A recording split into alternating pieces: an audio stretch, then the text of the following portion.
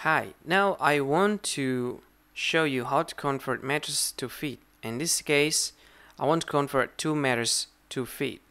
Okay, so this is the question 2 meters equals how many feet? And this is the formula that we will use to answer the question.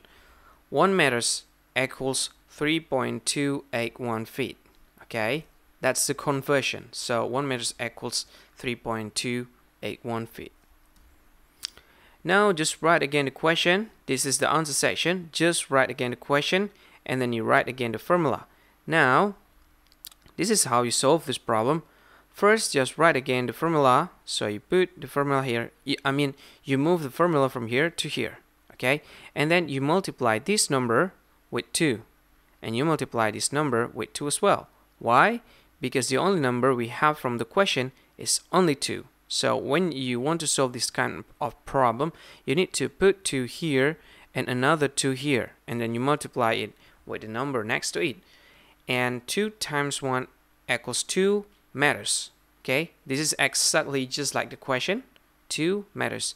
And then 3.281 feet times 2 equals 6.562 feet. And that's it. That's the answer. Thank you for watching and bye bye. Hi, thank you so much for watching this video.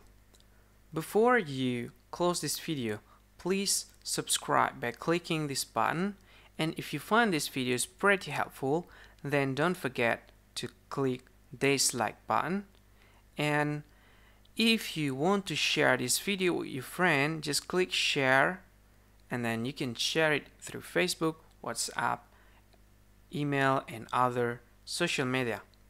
Well, that's all for me. Thank you for watching and see you again in another video tutorial. Alright, bye bye.